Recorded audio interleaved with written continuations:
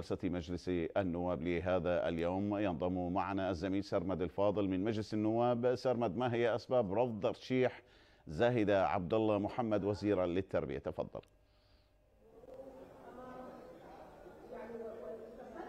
خميس الخنجر هو المشكلة. يعني هكذا يقولون في مجلس النواب. كتلة خميس الخنجر هي المشكلة على اعتبار أن الخلاف السني السني تطور إلى مسألة رفض مرشحتين خلال أربعة أيام. تحدث عن المرشحة الأولى سفان الحمدان هي ليست قديمة وليست جديدة بكل الأحوال.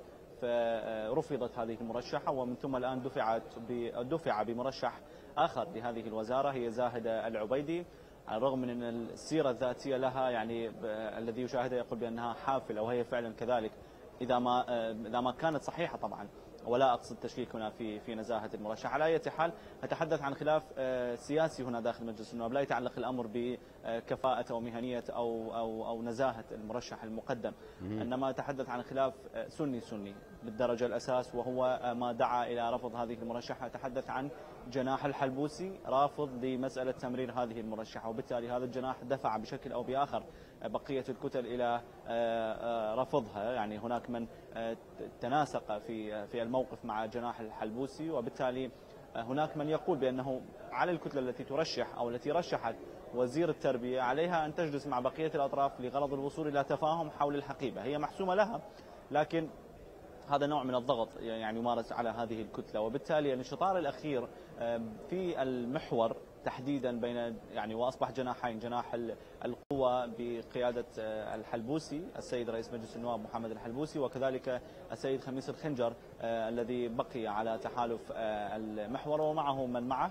هذا الأمر أدى إلى أنه هذه الكتلة الأخيرة هي له. لخميس الخنجر وفق الاتفاق السياسي الذي على أساسه شكلت الحكومة. لكن يعني هذا الخلاف تطور ووصل إلى حد تمنع مجلس النواب عن تمرير مرشحتين كما قلت خلال أربعة أيام. وبالتالي من يعني يتوقع أن تمر أو أو يرحل هذا الموضوع إلى جلسة السبت وهو وارد جدا نظرا لأنها الجلسة هي أقرب جلسة عن اليوم هي جلسة السبت. هذا هذا واحد. الأمر الثاني ربما ترحل إلى الفصل التشريعي المقبل. لا أتحدث عن التمديد الفصل التشريعي إذا ما تمدد فعليا أو مدده مجلس النواب يوم السبت على اعتبار أنه هي آخر أيام أو, أو, أو الأيام الأخيرة في هذا الشهر وبالتالي ينتهي الفصل التشريعي الحالي ومعها تنتهي السنة التشريعية الأولى من عمر مجلس النواب. ربما يرحل موضوع وزارة التربية وهناك حديث قوي داخل مجلس النواب يقول بأنه الموضوع يمكن آه، ترحيله إلى آه، إلى الفصل التشريعي القادم أو حتى ربما السنة التشريعية الثانية لأن السنة التشريعية كما تعرف بأنها تحوي فصلين تشريعيين. إذا لم تمر مسألة إذا لم تمر وزير التربية أو وزير التربية يعني لا يعرف إن كان مؤنث أو مذكر حتى هذه اللحظة ربما هناك لعنة نسوية تحل على على الكابينة الحكومية فيما يخص استيزار وزارة واحدة تعطى للمرأة وفي يعني هناك أحاديث تتحدث عن ضرورة التمثيل. الحكومي داخل مجلس الوزراء وبالتالي ممكن أن يرحل هذا الموضوع إلى السنة التشريعية الثانية وهذا وارد جدا بقوة نظرا للمعطيات الحالية داخل مجلس النواب طيب سرمد هل تم تحديد موعد لاستضافة عبد المهدي بشأن برنامجه الحكومي في البرلمان هذا اليوم؟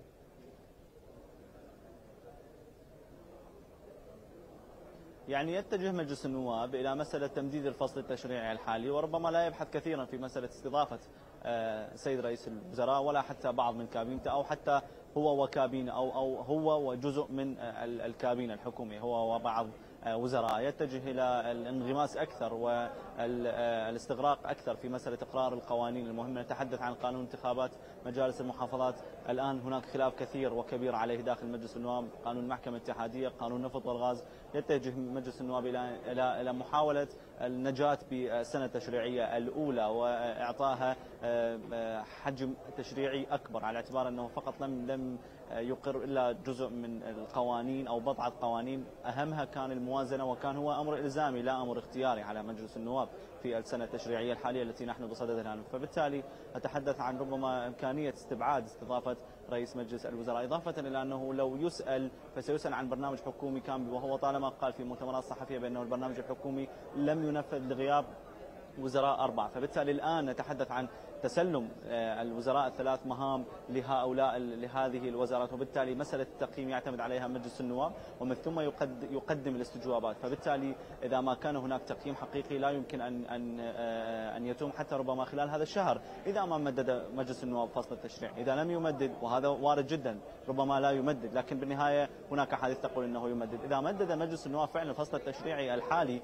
فنتحدث عن شهر فقط وهي يعني مهلة يعرف جميع النواب ويعرف المتتبعين بأنها ليست كافية لمحاسبة أو استجواب أو استضافة أو استفهام حتى ربما آه، الوزراء الثلاثة الذين استوزروا آه، يعني آه، في الأيام القليلة الماضية. لكن نتحدث عن الكم الأكبر من الكابينة الحكومية. ربما هم يقدمون إلى مسألة الاستجواب أو حتى استضافة أو استفهام. الآن تجري استضافات داخل مجلس النواب. خلال هذا الشهر شاهدنا الكثير من الاستضافات للوزراء. لكن بالنهاية هي تتحدث عن مواضيع جزئية ليست ليست بشكل كلي عن أداء الوزارة. تحدث عن أزمة المياه أزمة الحرائق مثلا أزمة الأزمة الأمنية وما إلى ذلك. لا أتحدث عن شيء كلي.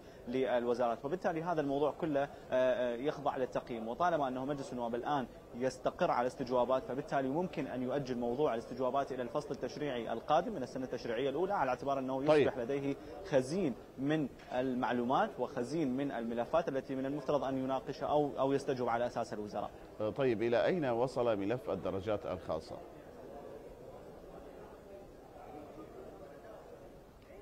مستبعد هو المضي بملف الدرجات الخاصة. لا أتحدث عن كامل الملف أتحدث عن الجزء الأهم منه.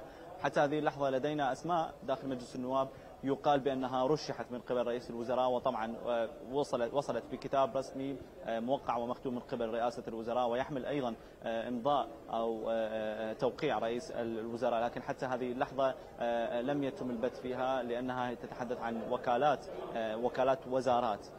فبالتالي موضوع نتحدث 5000 6000 درجة الآن يجري الحديث عن أكثر من هذا العدد يعني هناك من يقول بأنه أكثر من هذا العدد.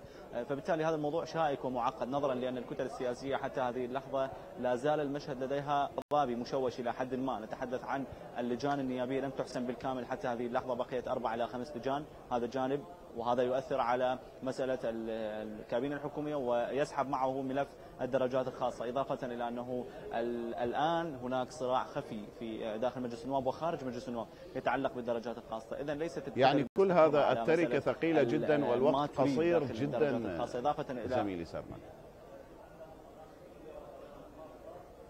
يعني الأمور تتجه الوقت نحو قصير. جدا. إذا ما مدد مجلس النواب عمل لمدة شهر لا يمكن له أن نعم.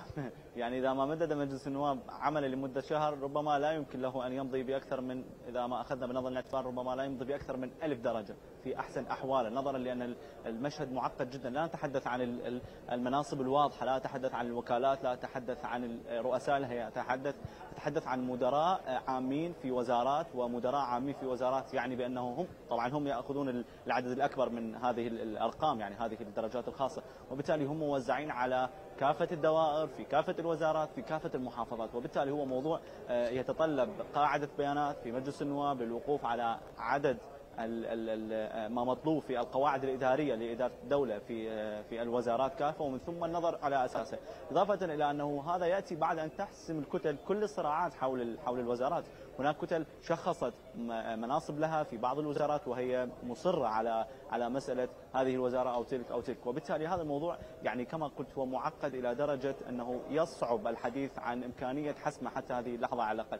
ربما والشارع العراقي أيضا ينتظر حسم تلك المواضيع وينتظر تقديم الخدمات وكل هذا والوقت ما زال يداهم العراقيين فقط. كان الله في عونهم. زميلي سرمد الفاضل من مجلس النواب كنت معنا وعلى الهواء مباشرة. شكرا جزيلا لانضمامك إلينا.